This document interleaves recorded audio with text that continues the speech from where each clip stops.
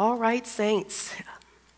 The Gospel according to Matthew, New King James Version. And I'm going to read just a few verses. I won't read all of the verses that we're going to cover, but just a few verses so that we can understand uh, the, the context in which we're going to be teaching on today. Then Jesus went out and departed from the temple, and his disciples came up to show him the buildings of the temple. And Jesus said to them, Do you not see all these things? Assuredly, I say to you, not one stone shall be left here upon another that shall not be thrown down. Now, as he sat on the Mount of Olives, the disciples came to him privately, saying, Tell us, when will these things be, and what will be the sign of your coming and of the end of the age? And Jesus answered and said to them, Take heed that no one deceives you, for many will come in my name, saying, I am the Christ, and will deceive many. Is this already happening today? And you will hear wars and rumors of wars. See that, listen, listen, people, see that you are not troubled. For all these things must come to pass, but the end is not yet. Verse 7 For nation will rise against nation, and kingdom against kingdom, and there will be famines, pestilences, and earthquakes in various places. Are these things occurring today? Absolutely. All these things are the beginning of sorrows. Then they will deliver you up to tribulation and kill you, and you will be hated by all nations for my name's sake. And then many will be offended, and then many will be offended, will betray one another, and will hate one another. All this stuff is occurring today. Then many false prophets will rise up and deceive many, still happening today, and because lawlessness will abound. In the original King James Version, it is the word iniquity.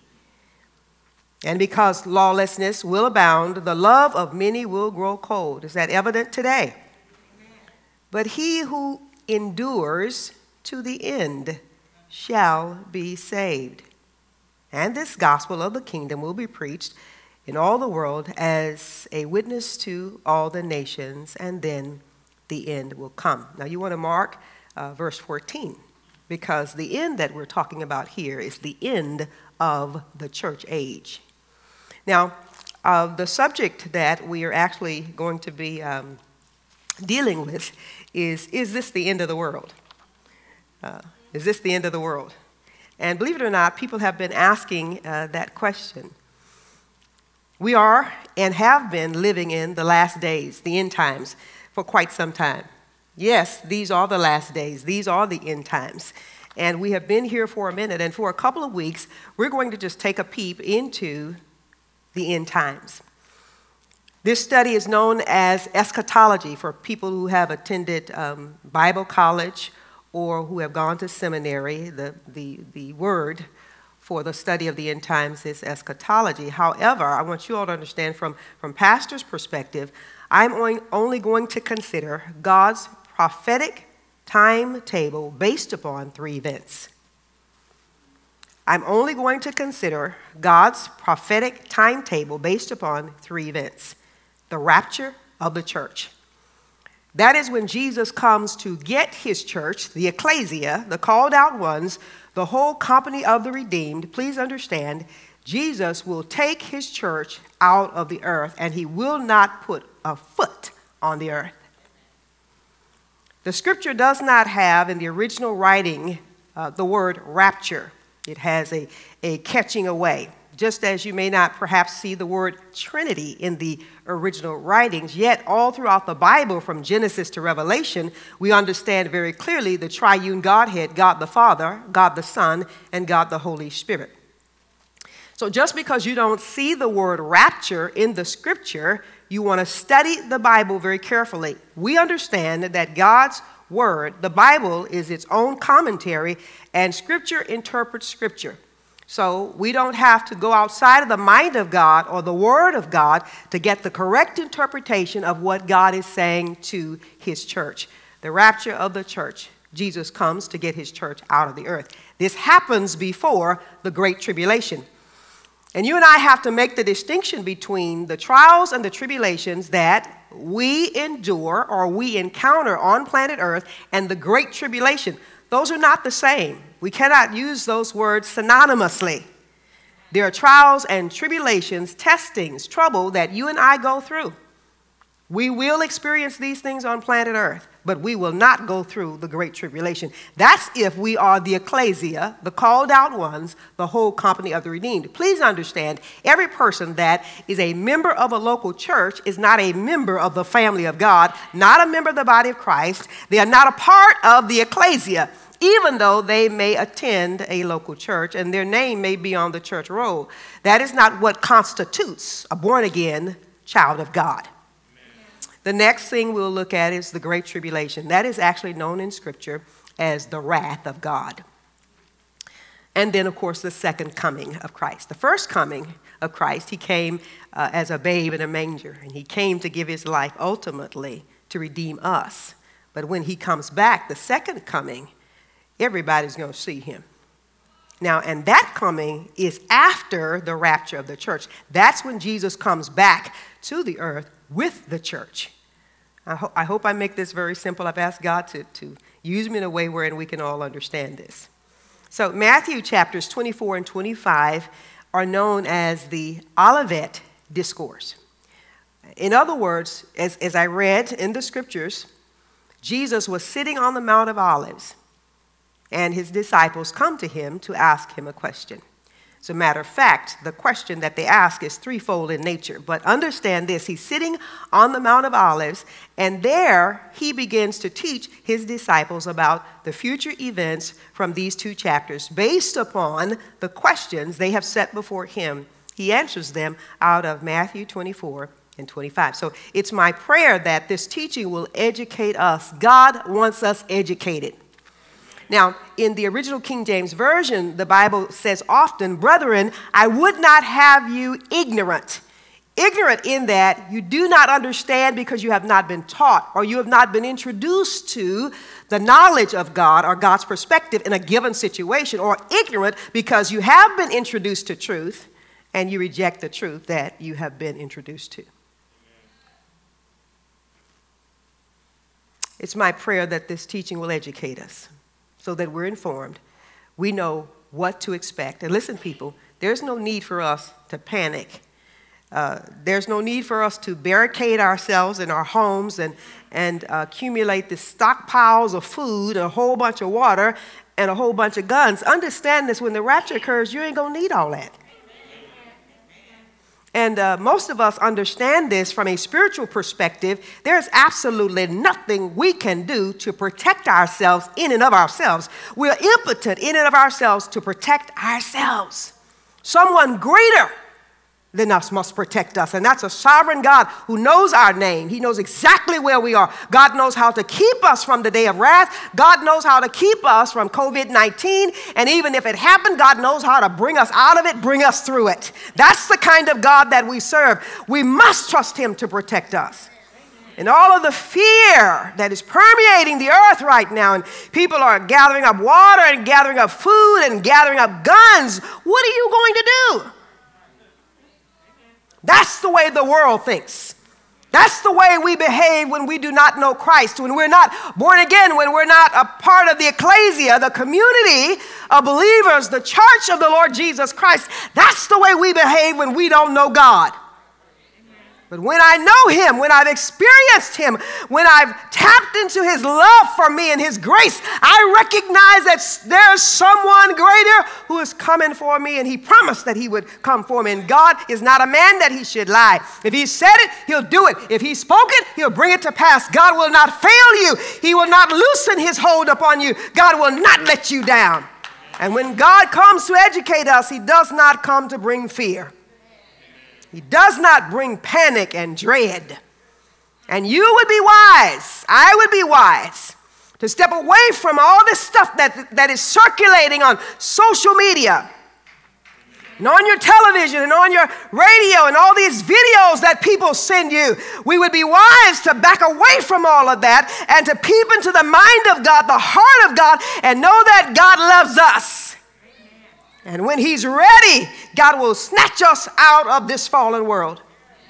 And He knows when to do it, He knows how to do it, and He will do it. And so I want to caution us. Sure, you need groceries, but you don't need to be trying to fill up no closet. Two or three closets, fill up your garage. Sure, we need water. And, and, and I am not going to say that my husband doesn't have a gun, but he ain't got guns. And, and I would hope that people have enough sense after we have prayed and we're covered in the blood not to try to come in our house. Because my husband loves Jesus. He's a Christian, but he's part Cherokee. yeah, he's a mixture of some stuff, and he'll go on the warpath. You're not going to come in his house. How many of you men feel like that? You, you ain't going to come up in here. I prayed, I trust God, but I will pop you. All right, y'all, oh no, they're going to, no, just calm down. John 14, verses 1 through 6. Jesus said this, I believe his word. It is unfortunate, Reverend and I were talking about this. It is unfortunate that there are certain passages of Scripture that we only use when there's a funeral. Whether the, the, the funeral is officiated for a sinner or a saint, we only use these passages during that time. But these are passages that we should be uh, very familiar with and we should live by and have confidence in.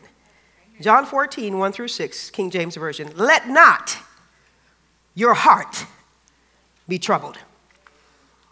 Okay, listen. So snap out of it. Just snap out of it. You don't need antidepressants. You don't need Chardonnay, Jack Daniels, the swamp thing. You don't need liquor. Listen, you need to be sober. More sober than ever before. Let not your heart be troubled. Do you believe in God? Jesus said, You believe in God? believe also in me. In my Father's house, in the holiest of holies in heaven, and heaven is a real place. In my Father's house are many mansions. If it were not so, I would have told you. He's, uh, you can bank on this when God says something. If it were not so, I would have told you. This you can be assured of. I go to prepare a place for you. And if I go and prepare a place for you, this is what he says I will come again and receive you to myself. See, man won't get the liberty of destroying this earth. This earth will be renovated by fire, but God's going to do that, not man. And if I go and prepare a place for you, I will come again and receive you to myself. You belong to me. I purchased you with my own blood. That's if we're born again. That where I am, where is He? In heaven, in the holiest of holies, that where I am, there you may be also. I do have a destination. There's some place that I'm going beyond that transcends this natural world. And where I go, you know, and the way you know. Thomas, as many of us would ask the question, Thomas said to him, Lord, we do not know where you are going. And how can we know the way? Jesus said, Let me make it clear to you. Jesus said to him, I am the way, the truth, and the life.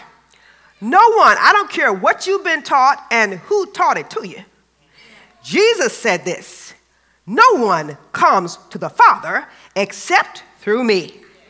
So it doesn't matter. There's one way to God, and we can go through, oh, you know, there are many, many ways, you know, many ways to get to God. No, there's one way. And Jesus said, I'm the way, I'm the truth, I'm the life. Understand this. Nobody gets to the Father unless they come through me. They have to come through me. They must be born again. In other words, we must fully acknowledge and accept that Jesus Christ really is the Son of the living God that he was born of the Virgin Mary. He was conceived by the Holy Spirit. No man had anything to do with this. He was born of the Virgin Mary and he suffered under Pontius Pilate. He was crucified, died, and buried. The third day, he got up out of the grave. He ascended into heaven and he is coming back again. Right now, he is seated on the right hand side of God, and there he ever lives to pray for us, to make intercession for us. But we can be assured, just as Jesus said it, he is coming back for his bride. He is the bridegroom, and we are his bride, and he is coming back for a church without spot, wrinkle, blemish, or any such thing. He is coming back again. He's coming back for his church, and I'm in the number. Are you in the number? That's the issue. You can worship Buddha all you want to and Muhammad all you want to. You can be a part of any number of religions, but there's only one way to get to God, and that's through Jesus Christ, the Son of the living God. God sends His word so that we're not troubled. God doesn't want us ignorant, doesn't want us in a state of panic. He does not want us frustrated and desperate and running all over the place as if we don't have a clue as to what's going on. If we are looking into the mirror of Scripture, if we peep into the mind of God, there, there are things that God wants us to understand. He sent His word to heal us and to deliver us out of the pit of destruction. In Psalms 107 20, He sent His word to heal us. In other words, He sent Jesus to bring deliverance. So He sends His word to bring peace. Amid, listen, if you all would just study history, the world didn't end with all these other pandemics that happened. There were other pandemics before this 2020 pandemic.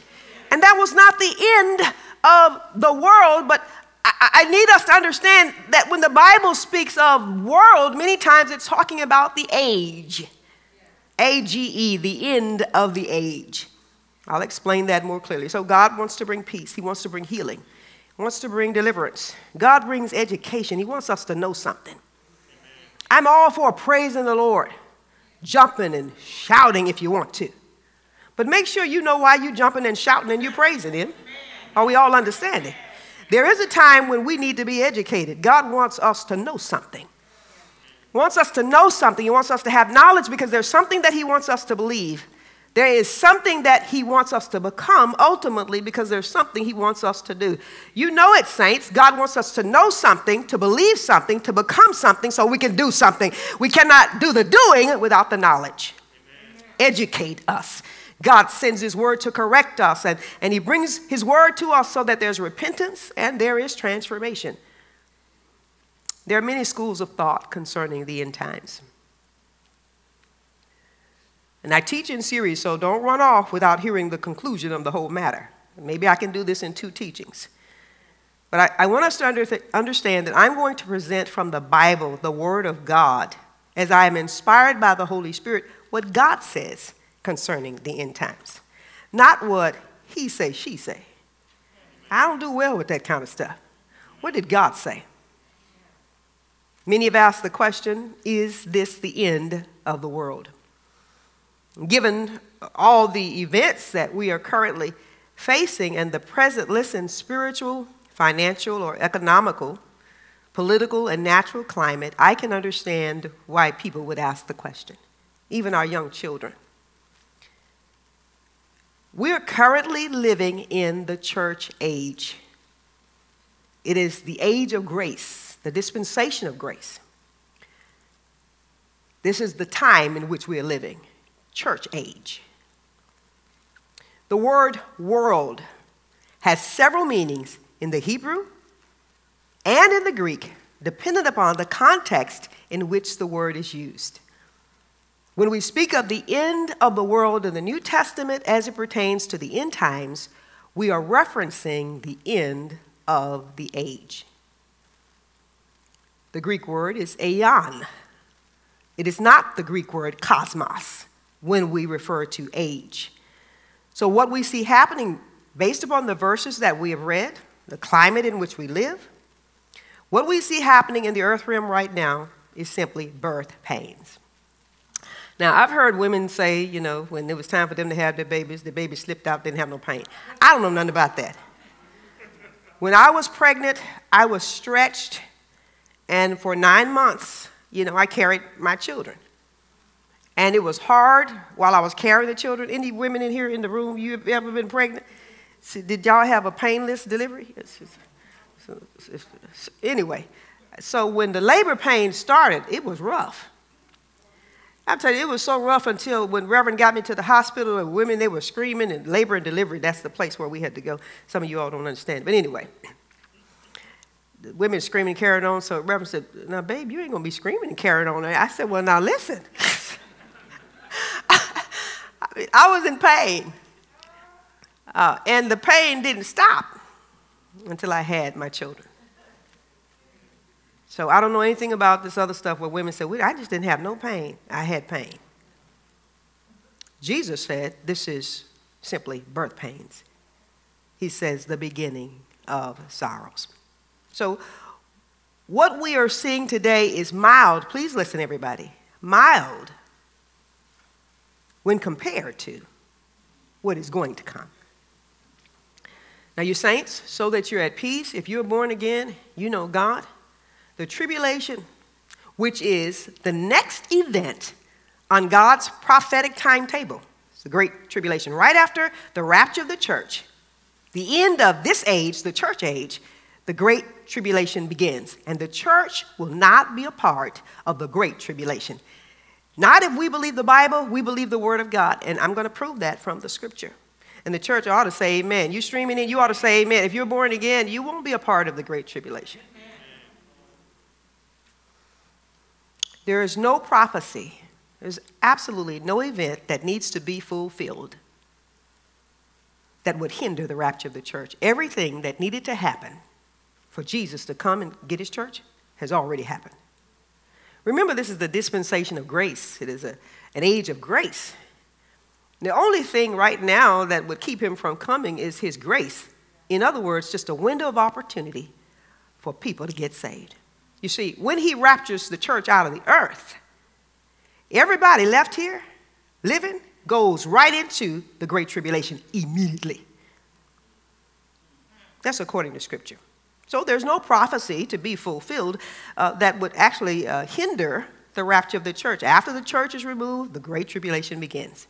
The disciples really asked Jesus three questions, and I think we can put these on the screen. When will these things happen concerning the destruction of the temple in Jerusalem? Now, the, now, at the time they were asking Jesus this, and they were showing Jesus the temple. This is the temple in Jerusalem. All of these, I mean, the, the finery as it pertains to the building. That temple was destroyed in the year AD 70. That was 40 years after this situation where they're, wherein they're talking to Jesus, and Jesus is telling them all this stuff going to be thrown down.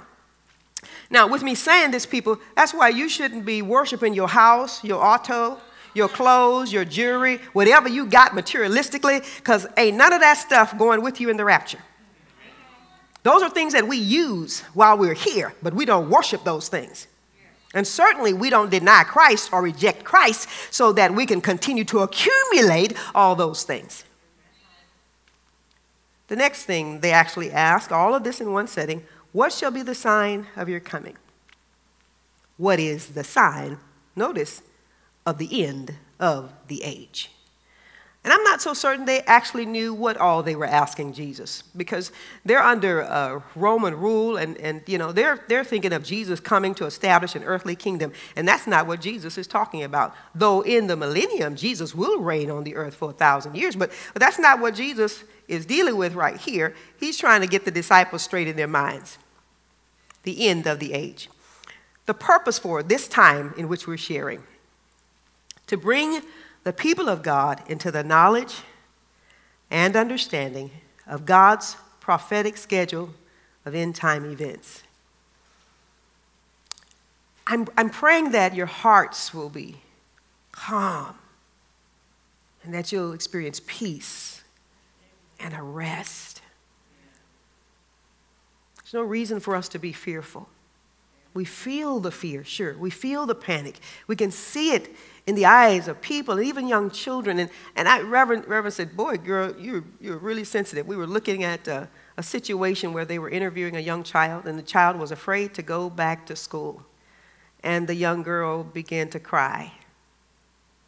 Teenager, right, babe? She's afraid. She began to cry. And, and seeing her weep caused me to want to weep. So, why should a child be so terrified? It's the climate. It's what children see in parents. They see the panic in parents, they see the fear. they see the agitation, they see the worry. And you see, whatever we model before them, they extract their behavior. They, they extract their attitude about situations and circumstances from those who are leading them. And so, sure, it touched my heart to the point of tears because I don't believe a child should live in that kind of terror. And we will all do it if we have no understanding. So, we want to take this time to bring the people of God into the knowledge and understanding of God's prophetic schedule of end time events. And understand this as we go through this the best sacrifice we could offer to God, the best sacrifice we can offer up to God is a faithful and obedient life. We worship God with our tithes and with our offerings, don't we? But God wants our lives, He wants our hearts. And the highest demonstration of a life of faith is a life that is obedient to God. God wants our obedience.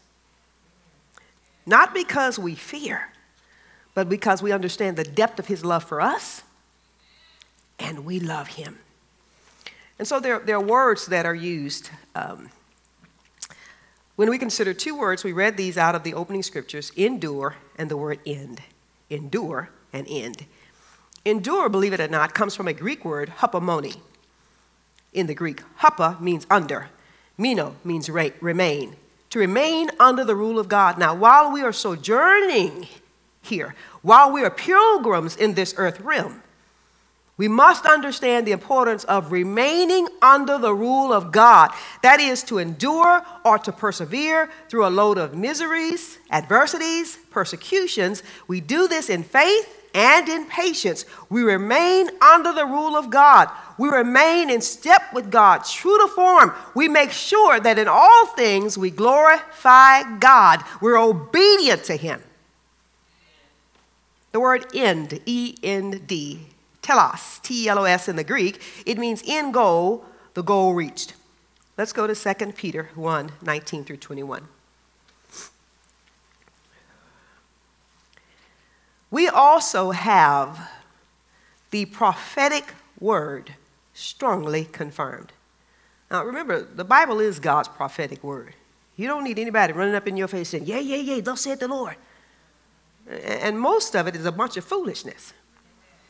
And understand this if we won't obey God's prophetic word as written to us, documented in Scripture from Genesis to Revelation, what makes you think folk are going to, obey some other kind of word? Can we just obey right now what is written? We also have the prophetic word strongly confirmed. This is the Christian Standard Bible. And you, listen, and you will do well to pay attention to it. We have God's word right before us, and all of us would do well to pay attention to it. As to a lamp or a light, and God's word is a light, a lamp, it gives illumination. It's a lamp unto our feet, a light unto our path. God's word opens up our understanding. As to a lamp shining in a dark place, God's word, even now in this dark world, this fallen world, this world is filled with chaos and corruption until the day dawns. That's illumination comes and the morning star, Jesus Christ, rises in your hearts. Above all, you know this no prophecy of Scripture comes from the prophet's own interpretation. Because no prophecy ever came by the will of man. We're talking about divine unction, divine inspiration, divine direction, being under the rule of God. Instead, men spoke from God as they were carried along by the Holy Spirit. So, where are we going with this? Our objective to present from the Bible God's plan by which to prepare his church for his soon return. And the good news of the gospel, please understand this. The good news of the gospel is profound enough and powerful enough to bring salvation to any generation who will accept God's word as absolute truth. Whether that's baby boomers, my generation, millennials, Generation Z or Generation X, I don't know where all that stuff came from, X, Z, and all. Listen, I just know this. I just know that Jesus came to save peoples, nations, generations, whatever generation, God's word fits. And it's profound enough and powerful enough to deliver and to heal and to educate. It doesn't matter what generation. 1 Thessalonians 4 13 through 18. It's the English Standard Version. You all obviously know we can't cover everything today, right? You're not sleeping, are you? I'm just talking to the ones who are streaming. You're not sleeping, are you? But we do not want you to be uninformed. There it is. We don't want you ignorant. And I guess the, the world and I guess people who choose not to speak correctly say ignorant. We do not want you to be uninformed, brothers, about those who are asleep, those who have experienced physical death. So the Bible speaks of sleeping, speaking of physical death. Remember the statement, it bears repeating. The greatest tragedy in life is for a person to experience physical death, to fall asleep, physical death, without Christ. It's a tragedy. So we don't want you uninformed, brothers, about those who are asleep, that you may not grieve as others do who have no hope.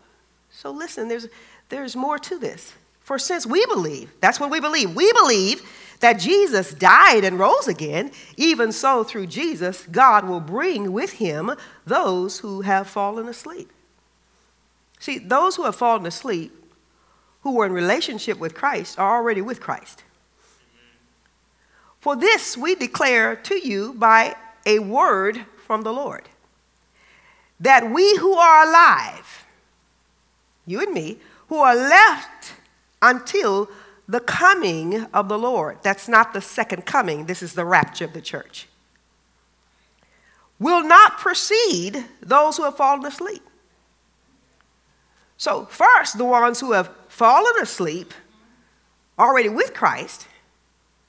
Then, us who are alive, we're caught up. Notice verse 16 For the Lord himself will descend from heaven with a cry of command, with the voice of an archangel, and with the sound of the trumpet of God, and the dead in Christ, those who died believing, will rise first.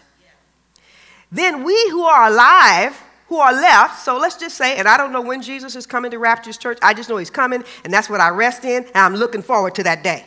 Now, I understand this. Verse 17, then we who are alive, who are left, will be caught up. That's the rapture. It's not the great tribulation. The great tribulation has not occurred at this time. Notice that we will be caught up together with them. The ones who died before us, who knew Jesus, we're going to be caught. Doesn't say he's coming to set foot on this earth. What the scripture says is that we're going to be caught up together with them where? In the clouds. Where are we going to meet? To meet the Lord in the air.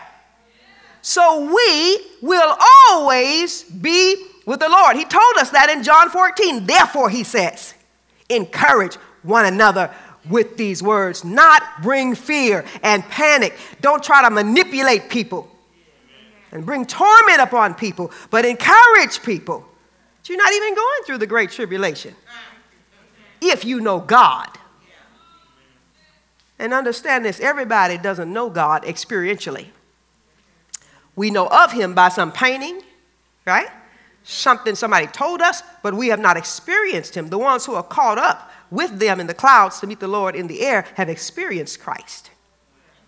So the day of the Lord speaks of one of two separate and distinct events the rapture of the church that's when Jesus comes to receive his church. The second coming of Christ is when Jesus comes with his church. That's a separate and distinct event. So let's close with this because next week I'll try to really get into all of Matthew 24. Let's uh, finish with 1 Thessalonians 5 1 through 11. Now, you all understand the church age ends and the great tribulation begins. You understand that? All right? And those of us who are one with him and, and we obey Him. We, we've gotten our marching orders from Him. We know what we're supposed to be doing while we're here until He comes to get us. 1 Thessalonians 5 1 through 11, New King James Version. Now, sometimes you just don't shout, you just learn, right? And then after we learn all this, then you got a reason to shout. And you don't have to be here in person to shout. And the church said, Amen. Hallelujah. Thank you, Jesus. Praise the Lord. But concerning the times and the seasons, brethren, you have no need that I should write to you. For you yourselves know perfectly. Now, now pay attention here. That the day of the Lord so comes as a thief in the night. For when they say peace and safety, then sudden destruction comes upon them as labor pains upon a pregnant woman, and they shall not escape. Now, watch because you will miss this if you're not paying attention. But you, brethren, are not in darkness, so that this day should overtake you as a thief. Now, we're not talking about the rapture here because the, the, church is going to be taken out of the earth. N- notice, and, the scripture explains it. We're going to deal with the second coming of Christ. And, and I, I, will jump ahead and say this when the, the second coming of Christ occurs, and all this stuff is happening in the sky, and every, all this lightning and everything that's going on, people going to see that. But the church, the church, remember, has been raptured out of the earth. So the, the, when the rapture of the church comes, it's not going to be lightning and all that stuff that you're going to see later on. Now, y'all want me to explain it. Okay, let's keep going. And they shall not escape, but you, brethren, look at this. You, brethren, are not in darkness, so that this day should, should overtake you as a thief. Verse 5 You are all sons of light and sons of day. In other words, you're in the kingdom of God, you're born again. We are not of the night, nor of the darkness. Do you all understand? Is, we're not talking literal nighttime. We're talking about the kingdom of Satan, the kingdom of darkness. We are not of the night or of the darkness, this kingdom of darkness. Therefore, let us not sleep as others do, but let us watch and be sober. For those who sleep, sleep at night. We're talking about the lost now. And those who get drunk, you all don't get drunk, right? You, can, you can't afford to be drunk now. And those who get drunk are drunk at night, walking in darkness. But let us who are of the day of the church of the ecclesia of the body of Christ be sober, putting on the breastplate of faith and love, and as a helmet, the hope of salvation. Notice this, people. Look, verse 9. For God did not appoint us to wrath. That wrath there is the great tribulation. God did not appoint those of us who are sons of light, the children of God, unto wrath, the great tribulation, but to obtain salvation through our Lord Jesus Christ, who died for us, that whether we wake or sleep, whether we are alive or we're physically dead, we should live together with him. Now, notice this, he says, therefore, comfort each other. Don't frighten people. Therefore, comfort each other and edify one another, just as you are doing. So, when you think of the word rapture, those of us who are still alive and on the earth, we're going to be caught up to meet those who've already gone home to be with the Lord. The church age ends, the great tribulation begins. But I'm going to show you the distinction so you can see at the second coming of Christ, the church coming with Christ, the rapture of the church, the church being taken out of the earth, the great tribulation, suffering like this world has never known.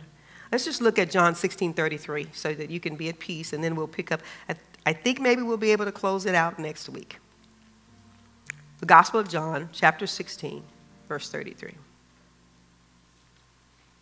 Now, you all understand we've been suffering trials and tribulations, right? The church, we're going to go through that. But you haven't gone through no great tribulation. Uh-huh. And uh, the great tribulation, actually, the horror of it is so described in Revelation that last prophetic book, the book of Revelation, John 16 33. So you don't get confused between the great tribulation and the tribulation that we go through as the sons and the daughters of God. These things I have spoken unto you that in me, Jesus says. Boy, he, his words are so calming. That in me you may have peace. Where can you find peace today? People, listen to me. Only in Christ. Not in antidepressants, not in liquor, not even in a relationship with a man or a woman. Peace can only be found in Christ. In the world, now this word world here is cosmos, K O S M O S. In the world, this material universe, as we face the systems of the world and the God of the world system, who is Satan, the scripture says, In the world, you will have tribulation. You're going to experience some trouble. In other words, you're going to have some pressure, affliction, persecution.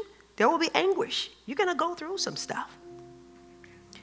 In the Old Testament, when the Bible says, Many are the afflictions of the righteous, but the Lord delivereth them out of them all, that word afflictions is acute annoyance, harassment by the evil one. Jesus says, But be of good cheer. I have overcome the world, the cosmos, this, this world system, the, this, this lost world. Jesus said, I've overcome this. And because he has overcome, you all listen, we will overcome. Jesus Christ is alive in our hearts if we're born again. And he's promised to keep the church. I can prove it from the scripture. He has promised to keep the church from the great tribulation. Promised that we will rule and reign with him during the millennial reign. And we'll learn more about this, but right now, can I just get everybody calm down? It's not the end of the world. And understand this we are at a place where Jesus could come and get his church at any time. What greater place to be than in the presence of God? I ain't ready to die yet. When God's ready to come and get his church, you don't have a say in the matter. Just make sure you're ready. But for now, we must occupy until he comes. And we'll talk about that next week. There's work that we must do until he comes. Are you ready to meet him? You see, that's, that's the real deal. Are you ready? Have you made peace with God? Are you shucking and you jiving, you just playing around, goofing off? God is so much God until those who have said, well, you know, when I've done my thing, I live my life, then I'll get ready. You don't ever want to tempt God. Because God will allow you to die in that state. You see, you don't even have control over your breath. You didn't wake you up this morning. God woke you up. He kissed you with His grace. He shook you with His mercy. He raised you up with His love. You don't have control over the beat of your heart the blood running warm throughout your body, you don't have control over that. God does. And what he says to us is be ready. Because he could come at any moment. And that's the question Are you ready? So, what does it take to get ready? It's not all the jerking and the gyrating. And there have been people who were water baptized who are not born again. Again, there are people who attend seminars and conferences and church services not born again. Your attendance doesn't mean you're born again. We're born again when we do exactly what Jesus told us to acknowledge that He is the way and the only way. He does not send us. Are you all listening? Are you listening? He doesn't send people to hell, He doesn't send people to heaven. A glorious God, a good God, doesn't send people to hell. People choose hell. You can choose heaven or you can choose hell, and God won't make you choose either one. But if you want to be ready when He comes, since we are in the last hour, the last days, and the rapture of the church is, is yea, even at the door. You get ready when you say, Jesus Christ. And I'm going to ask all of us to do this. Those of you streaming in, you have young children, your grandchildren, family, those of us who are here together if you can, just let's say this together. Dear God, in the name of Jesus, I realize without Christ, I'm lost. I'm on my way to hell. But today, I've heard the word. Jesus is the way. So, Jesus, come into my heart. Save me. Change me. Teach me how to live for you. Forgive my sins. Fill me with the Holy Spirit so that when you come, I'll be ready to meet you in the air. And so shall I ever be with the Lord. Give me a pastor and a local church family while you tarry so that I can learn to be a true kingdom disciple and occupy until you come. Thank you for saving me. Thank you for forgiving me. I'm in the kingdom of God. Amen. Amen and amen. You pray that prayer and you meant it, you are in the family of God. That's how simple receiving this free gift really is. We'll never be perfect creatures here on this planet, but we serve a perfect God. And as much as within us lie, we commit to obeying Him in all things, knowing that the highest demonstration of a life of faith is a life of obedience. If you're already born again, I pray that you will recommit your life to Christ and get yourself involved in the things of God so that you're active in the family of God. And when He comes, you'll be found doing the work that Christ called us to do, and that's to make disciples. If you're in a backslidden state, God loves you. He's calling you back to Him, and you can return to Him. He's just that merciful. To our members, I love you so much. I yet pray for you. I'll see you on Wednesday for empowerment service, or you could be a part of the Thursday service, or both. But just know that we're here to serve you. Connect with us. Let us know how you're doing. We're calling to check on you, but you can check in and let us know that it is well. It's my prayer that you love God and you'll spend the rest of your life serving Him in sincerity and in truth. I'm Pastor Flowers. Until we see each other again, we're going to trust God and we're going to keep our eyes focused on Christ, not on the problems they're given. You'll find peace in Him and Him alone. Father, I bless you for those streaming in, those who are here in this auditorium. Thank you for the word that you've spoken to our hearts. Thank you that you're revealing to us the distinction between the rapture of the church, the great tribulation, and the second coming of Christ. May we see it in Scripture, O oh God, that they're separate and distinct events, and that you have promised to keep your church from the day of wrath. I thank you, Father, that you ever redeem our lives from destruction. I thank you that you give stability to our feet and friction to our tires. I thank you that you cause everything we set our hands to accomplish to prosper and come to full maturity because you love us. I thank you, Lord God, that you're perfecting everything that concerns us and that you're all seeing eyes in every place, beholding the evil and the good. You're the God who will show yourself strong on our behalf because our hearts are committed to you. And now, Lord God, I pray that you'd raise up your church, raise, raise up your body, raise up the ecclesia like never before. May we give attention to making disciples of all nations until we see your glorious face break through the clouds to receive us in glory. Thank you, Master. We trust you, and God is your servant as a shepherd to your people. I commit those who are streaming into you, those seated in this auditorium, I commit to you. You're well able to keep that which I've committed unto you against that day. For you who hath promised, O God, you're faithful and you'll do it. Keep us in the hollow of your hand. Protect us from the evil one. We give you the glory in Jesus' name. Amen.